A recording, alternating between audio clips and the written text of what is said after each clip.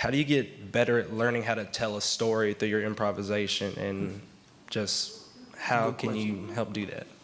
First, who I listened to, because my father was a jazz musician, I was always listening to live. First, I listened to him all the time.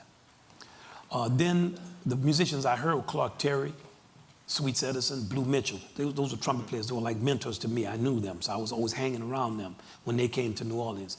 On recordings, Miles Davis, Clifford Brown, Freddie Hubbard were the main three that I listened to on, on, on recording.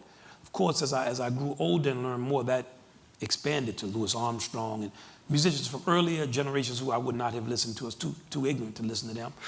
I began to incorporate him, Roy Eldridge, who I also met when I was in high school, but he was, he was so much older than me, I didn't have the proper respect. I wish I could go back to that time and reclaim the, the, the, the time and the opportunity to talk with him and learn from him. So in that way, I, I want to encourage you to expand your circle of listening from contemporaries to the entire history of our instrument. And uh, it's important to get a historical perspective on the instrument, and it's fun. Uh, so I, I would say that. In terms of developing your solos, in the construction of your solo, I'm gonna, I'm gonna tell you the, the, name three or four of the greatest musicians at construction.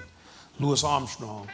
I want you to learn a solo by Louis Armstrong uh, on, on something called Tight Like This. It's from the Hot Seven or something. I think it's recorded in 1928.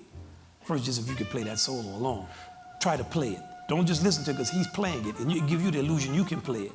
Because when he's playing it, it sounds real easy. When you start playing it, you're gonna say, hmm. okay, uh, uh, a- a great solo for construction is Charlie Parker, Embraceable You. But it's the one that starts going boo bee bee dee doo dee, doodle dee bee dee boo dee doo dee bee dee doo dee, boo bee dee dee doo dee, do bee bee dee boo dee bee doo doo doo doo boo wee dee, dee dee bee doo bee bee dee bee dee boo boo dee, boo boo doo bee dee bee doo bee dee boo dee bee dee la. Bird is such a poet. So check out how Bird constructs his phrases and don't learn like what I call generic bebop. Go to the source. Dizzy Gillespie once told me something about Charlie Parker. He said, man, when all the rest of us play what we call bebop, we play fast runs and then we finish with a melody. When Charlie Parker played, the whole thing was melody. So that way of construction. Another good thing is a good solo to learn is Miles Davis solo off of uh, Someday My Prince Will Come, a blues called Pfrancing or No Blues. It's a good, uh, good to get you, give you a sense of construction. Also, it's good to read Bix Beiderbecke on Louis Armstrong. If you read what Bix Beiderbecke says, he realized when he first heard Louis Armstrong play, he's talking about how to construct a solo. Finally, the real master of construction in our music is Thelonious Monk. Get an album called It's Monk's Time. Just check out Monk's comping and his soloing because he knows how to construct a solo. Thank Hope you. that helps you.